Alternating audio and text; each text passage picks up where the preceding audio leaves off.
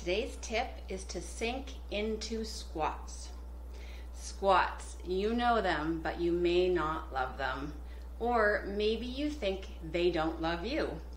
Squats are one of the most functional exercises there is.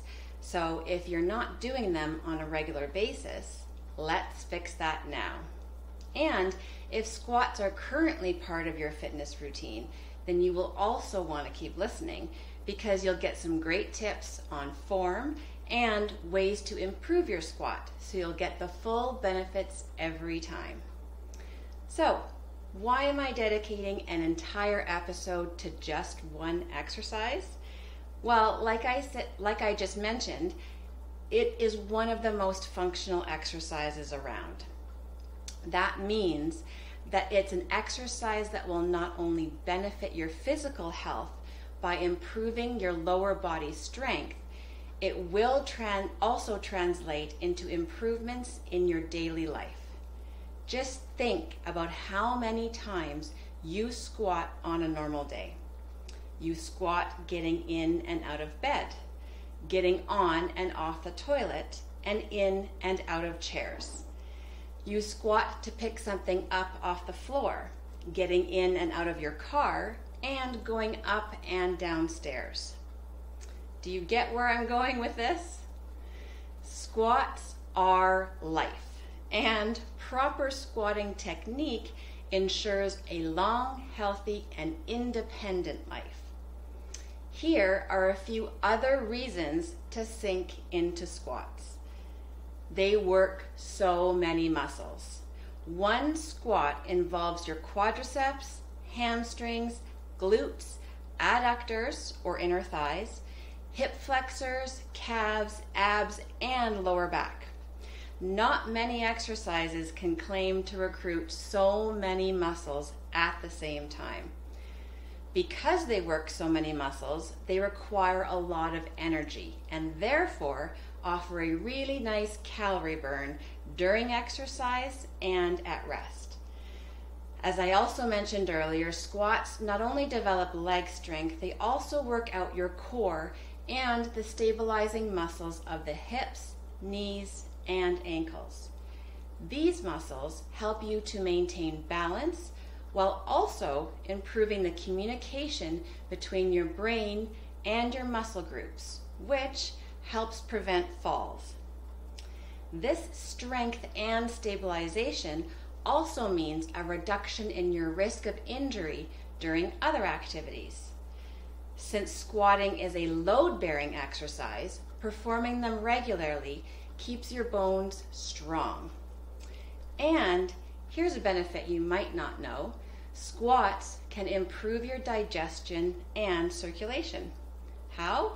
Well, the speed in which fluids travel through your body is improved when exercising your leg muscles.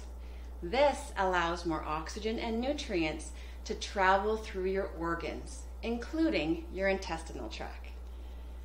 So, now do you see why you shouldn't skip out on squats? Now, I know that there is some resistance to squats despite all of these great benefits. Many people have knee or back issues and are afraid that squats will make it worse. Or maybe you've been told that squats aren't good for your knees or your lower back. So, if you're concerned at all, it's extremely important to consult with your doctor to make sure that there aren't any underlying issues that need to be addressed before you add squats to your regular fitness routine. But the truth is that squats done properly will improve the health of your knees and back by building the muscles that support them and reducing any undue pressure on those joints. So, how do you properly perform a squat?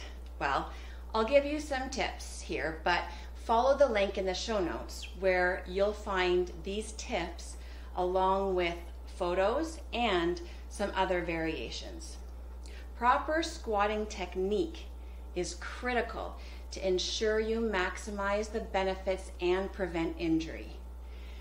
Proper squatting form also requires mobility and flexibility in the hips and ankles, as well as full activation of the glutes and inner thighs. If you have trouble with squats, working on mobility and glute activation is the best place to start. I'll post a link in the show notes to my Mobility Monday videos, and you can also go back and listen to episode 8 on glutes. So, here are some guidelines to consider when performing a squat. Start by standing with your feet shoulder width apart and your feet parallel to each other.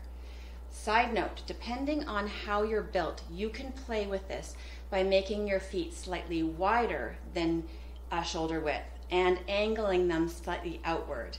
Just make sure that your knees and your toes are pointing and remain pointing in the same direction. And make sure that your knees don't fold inward. Next, keep your chest up. Engage your abs and shift your weight onto the heels as you push your hips back into a sitting position. Lower your hips until your thighs are parallel or almost parallel to the floor.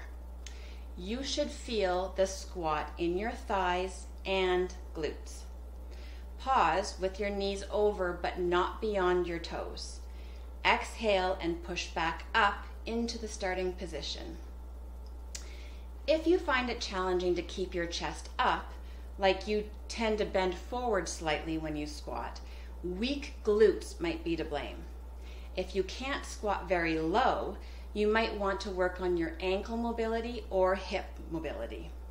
So, again, follow the link in the show notes for some hip, ankle, and ankle mobility drills. Once you master the basic squat, you can increase the intensity and add some variety by adding weights or trying other squat variations like split stance squats or lunges, back squats, overhead squats, or jump squats. Again, make sure to talk to your doctor or healthcare provider before starting any new exercise or fitness program. So, as you can tell, squats are a fairly simple movement. We do them many times in our daily life, but they also require a complex coordination of a range of joints, muscles, and ligaments. This makes it not only an important exercise to master, but also an essential part of your healthy lifestyle. Start perfecting your squat today and see improvements in your muscle tone, bone density, flexibility, mobility, and overall fitness and health. Willpower not required.